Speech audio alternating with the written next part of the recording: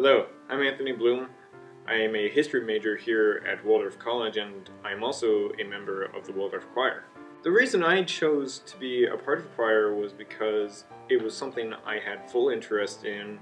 It was also something I have had prior experience to within my entire lifetime. And it's something that makes me feel comfortable, something part of something bigger. I'm Anthony Blomme, and keep it locked here at Walt TV, Channel 55.